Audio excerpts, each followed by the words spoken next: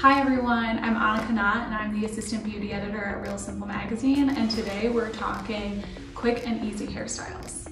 So like everyone this year, we're going through a lot of changes. The Real Simple staff is still working from home. So in my typical remote work fashion, I have business on the top and pajamas on the bottom.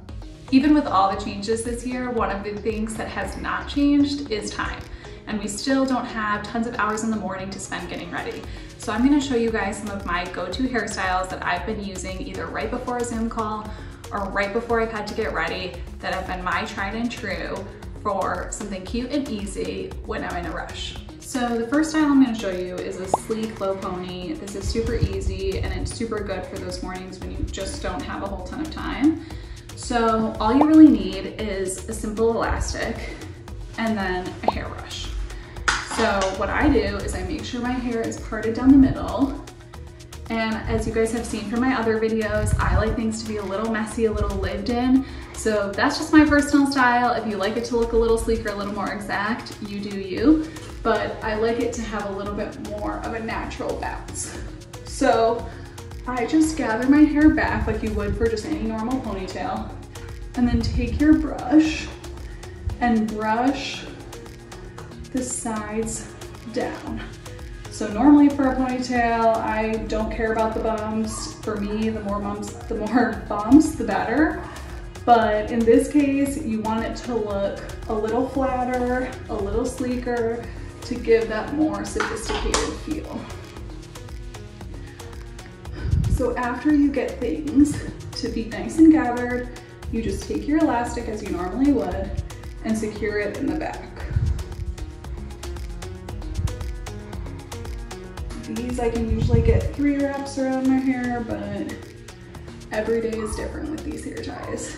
And then what I do is I pull towards the back and I just loosen so that, again, it's not super tight. If you like it tighter, you don't have to do it, but for me, I like it to be a little looser.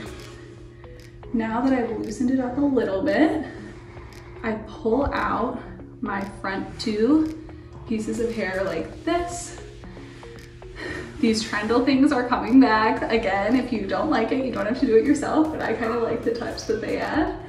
And then at that point, it's just pulling, doing a little bit of details to get it exactly right. And so there you have it, just a sleek, easy, low ponytail. It seems super simple, but it looks really polished. One of my other go-tos is a high messy bun. And this one, all you really need is an elastic, like I said before, and some bobby pins. The way you start with this one is I like to bend over and get all my hair gathered at the top of my head. So for me, the higher the better. So what I do is I pull my hair through the elastic one time, make a single cross, and then do that over again.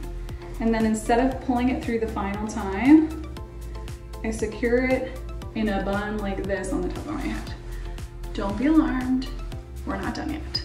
So I take the remaining hair that would normally be pulled through and then you start to pull it around the bun so then you can't, you kind of disguise your elastic and you kind of are making the base for your messy bun at this point.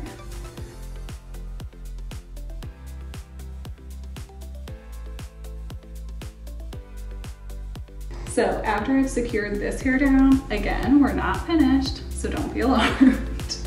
but I take these kind of like flopping pieces and then I secure them with, you guessed it, more bobby pins.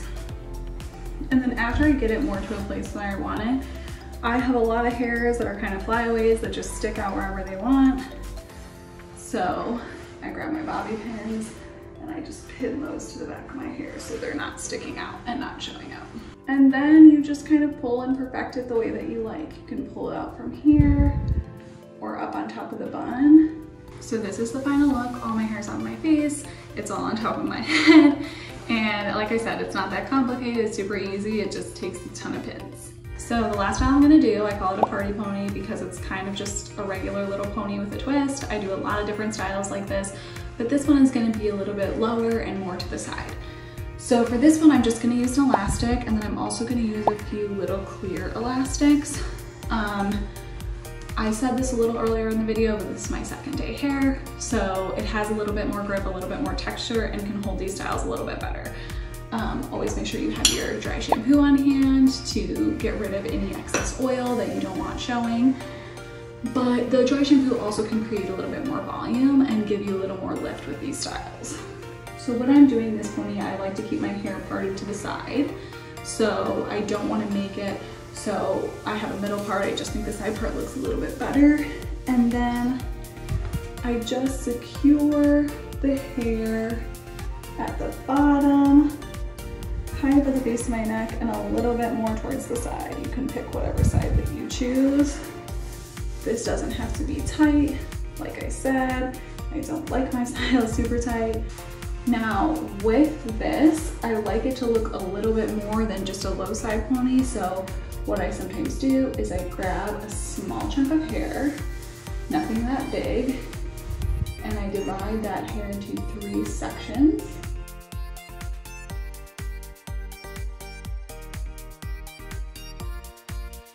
And after I'm finished, I take one of these little guys. These just secure elastics. You can get these at any drugstore. They're super cheap. And I tie. If you use a regular elastic, I think it just looks a little too chunky and they fall out really easily because this is just such a small amount of hair. So after I've done that, I like like to pull the braid out a little bit.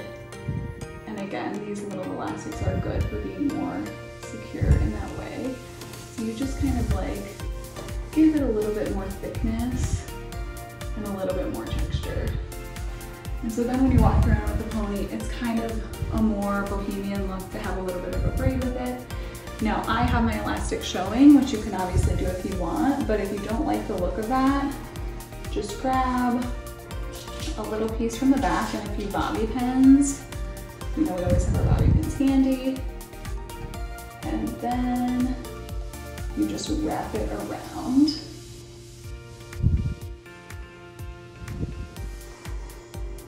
To completely cover that elastic.